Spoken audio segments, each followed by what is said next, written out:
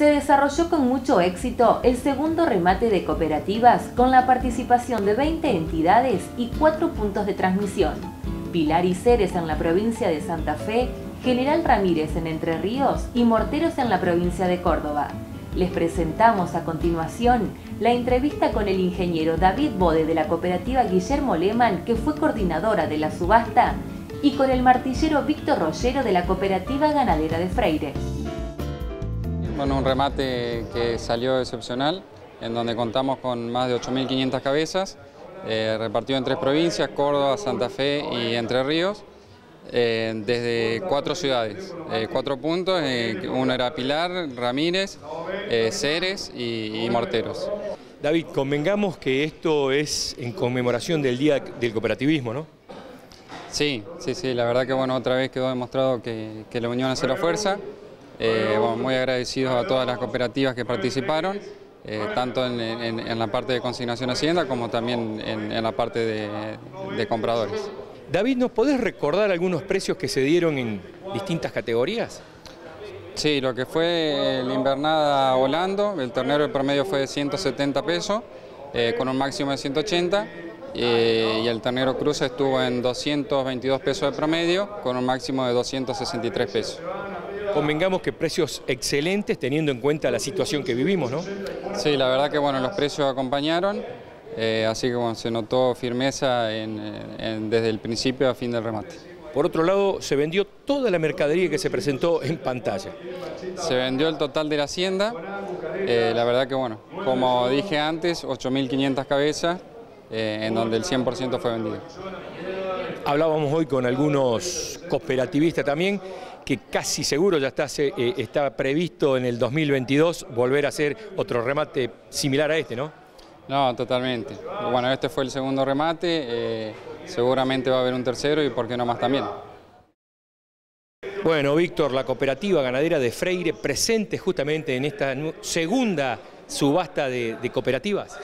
Así es, eh, presente yo en esta, en esta oportunidad por primera vez eh, veo que hay intereses variados, si bien la hacienda se está tratando de vender eh, en lo posible lo mejor que se pueda, como es la actividad nuestra, entiendo de que los valores están un poco acordes con la situación que vive el país en ganadería.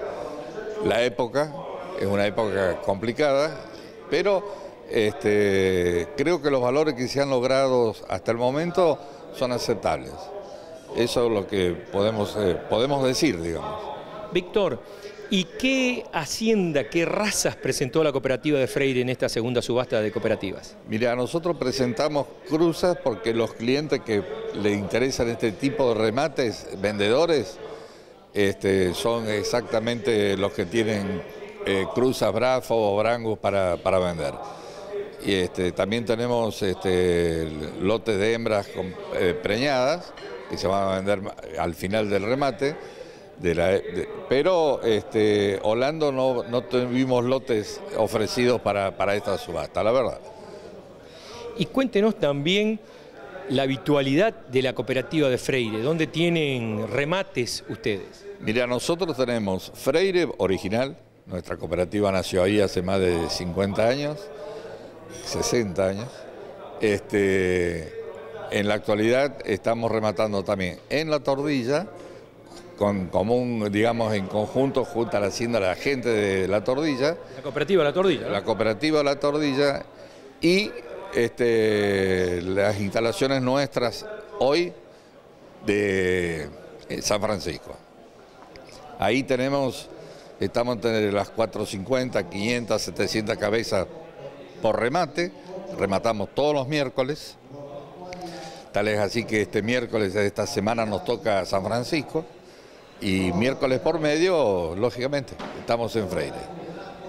Convengamos que eh, las instalaciones de San Francisco son extraordinarias, ¿no? La verdad que sí, una instalación que la cooperativa la pudo adquirir por una situación de, la, de una colega. Eh, bueno, este, y digamos, el sistema de trabajo nuestro es muy sencillo.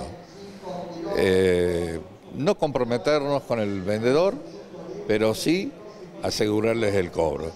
Y eso pareciera que en la actualidad nos está dando resultados a pesar del tiempo que ha pasado y de la gente que han estado en la zona este, en la actividad ganadera, ¿no? Esa es la verdad.